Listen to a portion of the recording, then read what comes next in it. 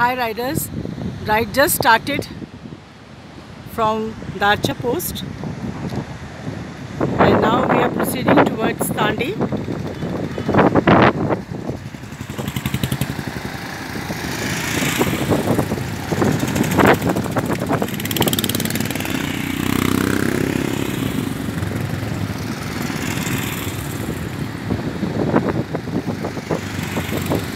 All are full with energy enjoying the ride.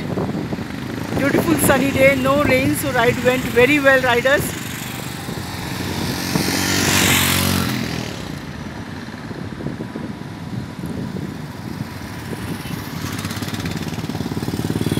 One bike is behind